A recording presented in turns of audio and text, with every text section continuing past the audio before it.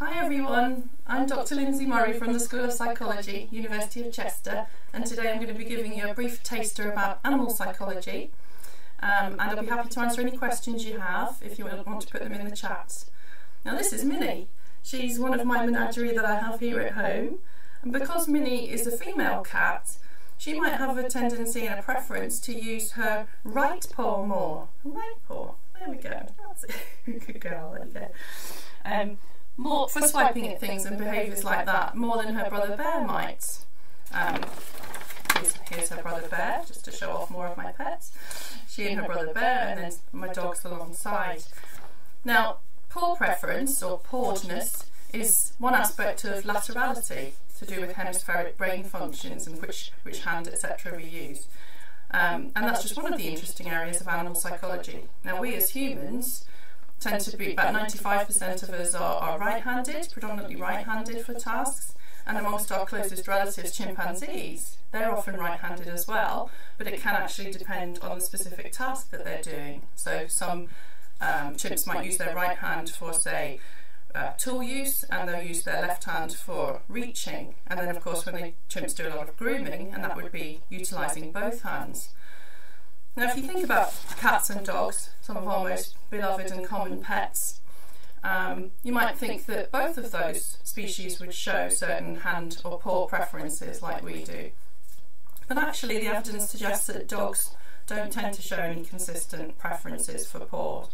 Um, but cats do. So why might that be? Well, one theory is that it might be to do with predator-prey relations. So if you think about how cats hunt, they would actually use their paws for swiping, using the claws obviously as well, and it might therefore make sense for them to, to strengthen a particular paw and use that one more. Whereas dogs, they don't tend to show any preferences. They, of course, rely on their teeth much more than their, their paws for hunting. So it could be something to do with that. Um, the sex differences, it's harder, as with lots of areas in, in psychology and animal psychology too, we, we still have a lot to figure out, so we don't really know why there would be these particular sex differences so much. But if you want to go off afterwards and, and study your own dog or cat, um, and you want to remember which way around it is, then I've done a little visual aid for you. You can just kind of remember that females are usually right. Okay. So, what is animal psychology then? Um, it's the study, if you like, of the minds, behaviours, social relationships and interactions between animals within a community and how they relate to other species, and that includes us as humans as well. So we want to try to understand non-human species, and we want to try and understand them at a species level, but also at an individual level as well.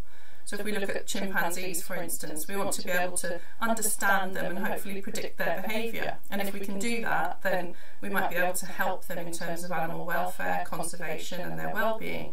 And we can also learn a lot about how animals, non-human animals, affect us as humans as well and improve the lives of humans. So for instance, in these really uncertain times that we're all living through at the moment, there's already a lot of research going on showing the importance of pets for our own mental well-being as well. And this kind of animal psychology, comparative psychology, brings together and draws on a lot of related fields, including general psychology, evolutionary biology, and ethology as well. So at Chester, we offer some animal input throughout the degree, and by third year, if you want to, you can specialise in um, studying animal psychology for your dissertation project, which is a double module, and you can take the optional animal psychology module, and that would mean that you would actually be spending half of your time in third year um, looking at animals, non-human animals.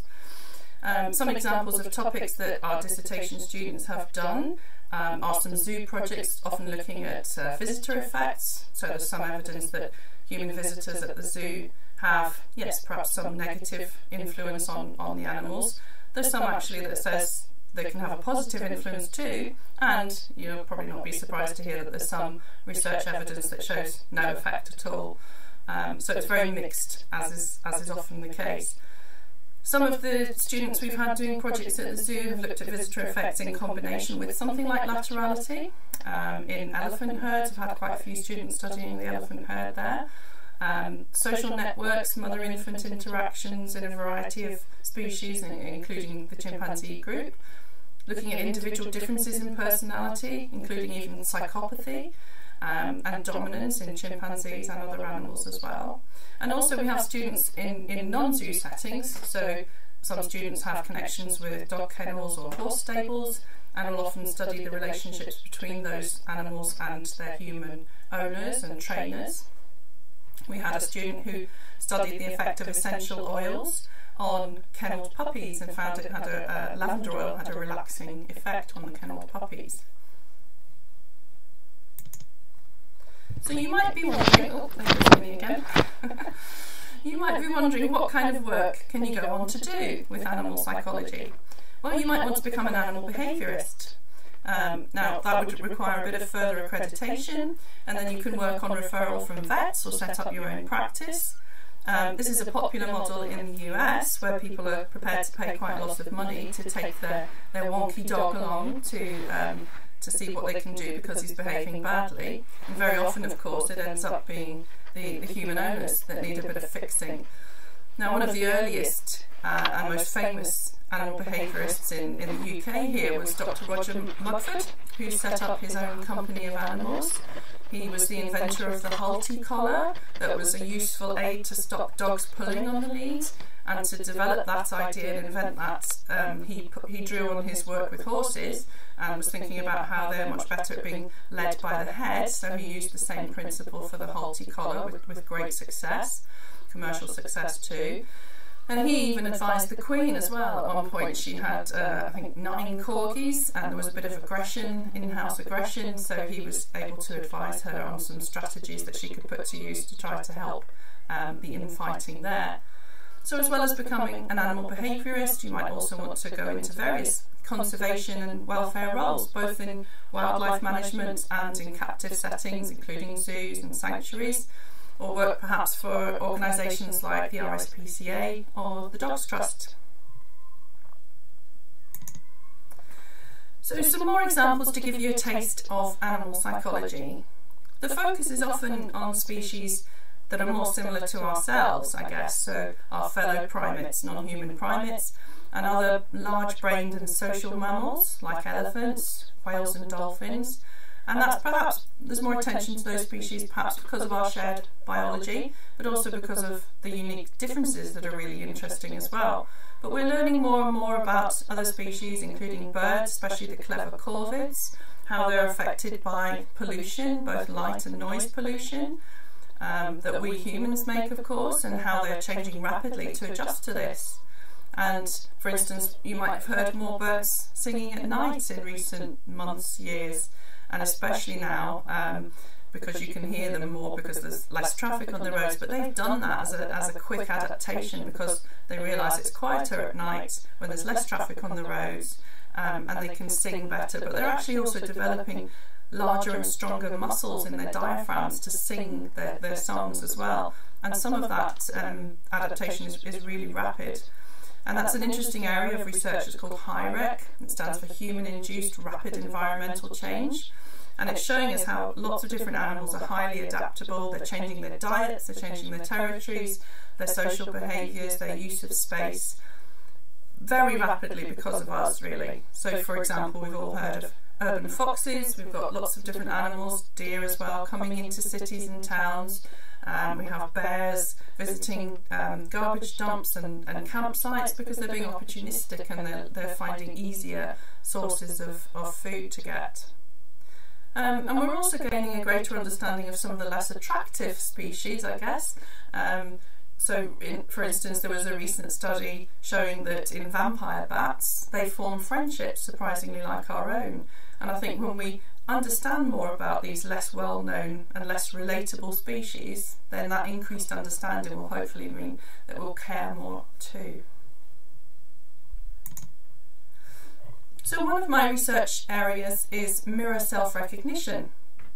So, often pet owners will feel sure that their cat or their dog can recognise itself in the mirror. But when you ask them what they actually do in front of the mirror, what they tend to describe are social responses. So a dog, for instance, would get down into a, play bow position and um, they would bark excitedly, for instance.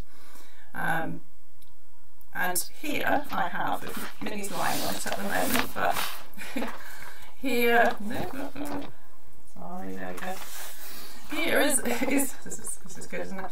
This is a, a, picture, if you can just make out of a gorilla that was in um, a study that I did and just published a paper in the Journal of Comparative Psychology this year. And he's actually not looking in a mirror, but he's looking in, in a in a television monitor at his live video self. And hopefully you might be able to just make out he's pulling his pulling his mouth down manipulating his jaw so that he can look inside his mouth. And that's a rare instance of some evidence that looks very strongly like he's exploring himself and that's very suggestive then of, of self recognition. And gorillas are a bit odd in that they're not giving us that much evidence yet that they can recognise themselves. So, the gold standard objective test of self recognition is the mark test by Gordon Gallup in 1970 and that's where paint is, is applied to the forehead of an animal, such as a chimpanzee, and then when they look back into the mirror after that, they're supposed to show evidence that they recognise their, their altered image. Oh, excuse me. But young, uh, young children can typically do this at about two years of age, but of course they've got a lot of um, help and assistance from their caregivers. Uh, for instance, parents will say, you know, who's that in the mirror? That's you, and everything. Obviously, non humans don't have all that. And one of the most interesting aspects of these self recognition studies is actually that it's, it's not all individuals of a given species that will give us this evidence. They won't all pass the mark test. So, even in chimpanzee studies, there, there, there might be a dozen or so chimpanzees, and only some of them are passing the test. Um, there was an elephant study where it was only one elephant that passed the mark test. Um, and I wonder if you can guess how the newspapers headlined the story this elephant was called Happy, so they said she's happy and she knows it. Um, amuses me anyway.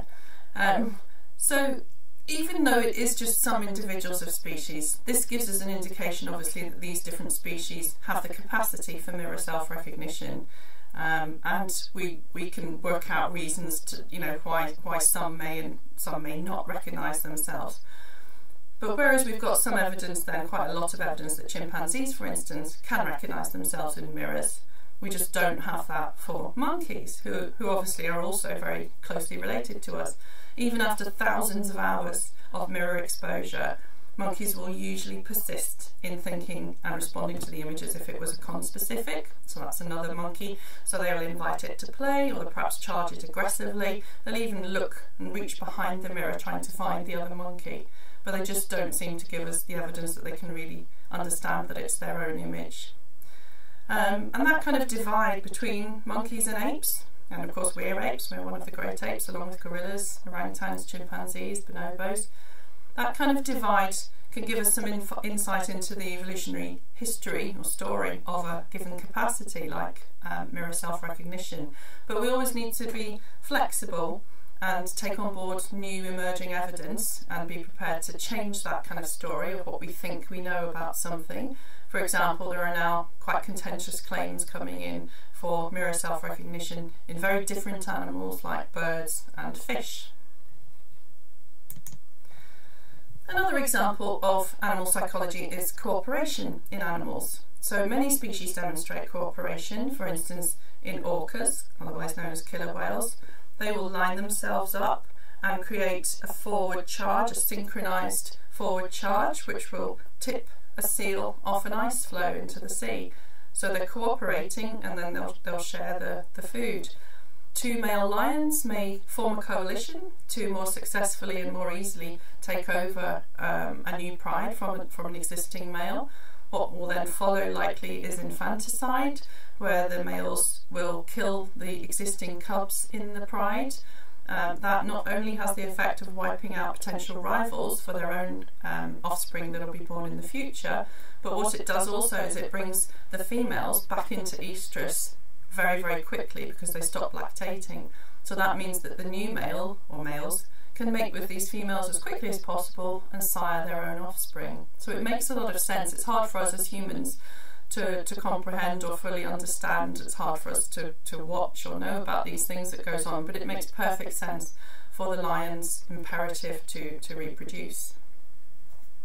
Zebras go one step further and they actually harass females while they're in foal so that they abort and that again is, is making sense because it stops the, the female's maternal investment in that fetus, fetus at the earliest possible stage. There's a body of interesting comparative research as well on dogs and wolves. As descendants of, of pack animals, our domesticated pets, I've got some around me here, they still have a need for some kind of hierarchy. And, and our dogs, our pet dogs, will look to us as their owners, as the alpha, alpha male and female, or whatever, um, as, as their alphas anyway in the pack. And it's really interesting to see some of the research on cooperative abilities in wolves and dogs. Um, so there's a standard test uh, where I've got a picture here of, you can see from Marshall Pescini et al.'s paper, where two animals need to work together to pull strings at either end of a, of a table um, to gain a food reward. And they must work together. If one animal pulls a string just at their end, it won't work.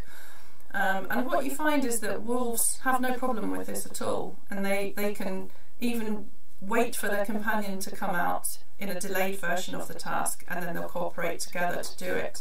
Dogs, however, sadly, will tend to sit there looking at the human researchers for guidance. Um, and one suggestion for this kind of change is, is the domestication hypothesis that Brian Hare and some, some of his colleagues have put forward, which basically is saying that we've kind of bred out of our domestic dogs all their natural inclination to cooperate with each other, and instead our pet dogs are cooperating with us, their human owners. And this is, of course, the, the loyalty that we, we know and covet in our dogs. A related concept is fairness. Now, you might think it would be challenging to design a, a, study, a psychological study that could get at something like that, investigate a concept such as fairness, but this was accomplished by Frans de Waal and his team in a classic study with capuchin monkeys.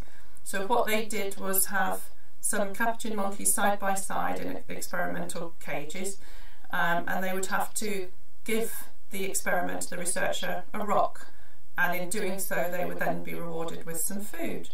Now, for as long as the two monkeys side by side received the same reward, a piece of cucumber, all was fine, all was good, they carried on doing it. But then they mixed things up, and when their neighbour started getting a more prized food reward, a grape, and and the, the monkey that was still getting the cucumber saw that, then they, they did not like that. And they actually showed their disdain by, by throwing the cucumber back at the experimenter. Um, it must have been very hard for those researchers to, to do that, but it nevertheless was a, a sort of genius way of showing us that these monkeys definitely had a concept of fairness. So the, the grape outweighed the cucumber. Cucumber was no longer any good. Another area I'm going to mention today is tool use. Now this is an area that's fraught with problems of definition. Most of the definitions imply the need for, for hands more or less because they talk about picking up objects. They also talk about um, some form of environmental manipulation. So I have another picture. And we have Betty. She's a famous New Caledonian crow and you might be able to just make out there that she has a piece of wire um, apparently coming out of her mouth. This was a famous study, came out in 2002 by um, Weir et al., um, showing that when given a, a, piece of straight wire to try to, to hook a little food bucket with to get it to come out of the tube, the crow realised that a straight wire, wire was no good, so she modified this tool and bent it into a hook form, and then, of course, was able to kind of fish dip into the tube and had success in bringing out the food bucket. So that created a real storm in the scientific community when that piece of research came out. Subsequent studies have shown that it actually is quite a common natural behaviour for these crows in the wild. They do bend sticks. Um, and so this task was actually mimicking a wild behaviour where these crows will bend twigs and sticks. So that's making tools, just as Jane Goodall found with her chimpanzees in the 60s in Gombe. So they're making these tools and it's mimicking what they do because they, they, they bend the, the sticks and put them in tree holes to get beetle larvae. Um, and it's thought that these crows probably learned to use and make tools like this to exploit those kind of food resources because strangely in, on the island of New Caledonia there are no uh, woodpeckers and those would be the kind of uh, species that would compete or are also utilise that kind of food source. So as there aren't any woodpeckers, the crows realised they could get at these um, grubs in the trees by making tools. And the crows appear to be born with a propensity to make tools this way and to use tools, but learning is also being shown to play a part, so that's a, a good example, therefore, of nature nurture interaction. The final area I'm going to talk about today is personality. Many years ago now, I studied the group of chimpanzees at Chester Zoo, along with some in other zoos, and I documented individual differences in personality according to three main factors. Those were confidence, sociability, and excitability. Um,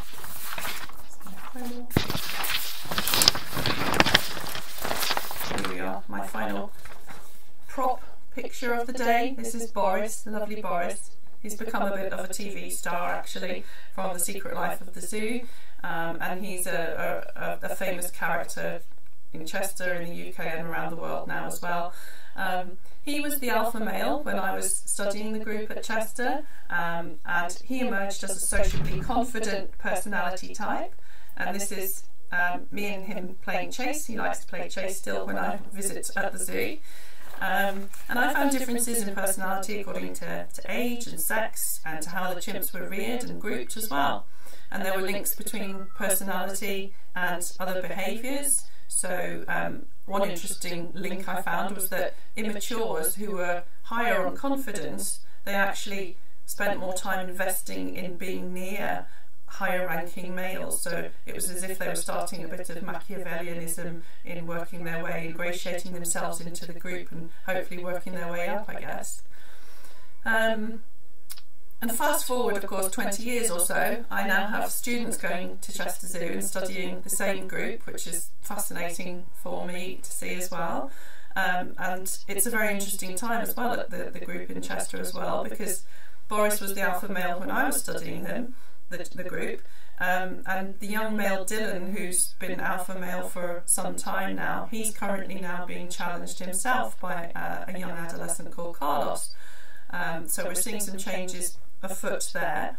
And with the loss of the alpha female and a new female being introduced in recent years into the group, the females are also still sorting themselves out um, and tr- sorting out their own hierarchy. And often this is not as linear as male hierarchy.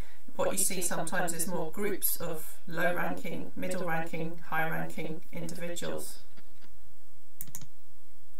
In some other species, Aspects of personality are observed in the form of behavioural roles that are played or maternal styles. So in dolphins, what you can see are mothers that are of different types. So some mums, some dolphin mums are controlling. So if their calves, for instance, are straying too far, they'll discipline them much more heavily and consistently.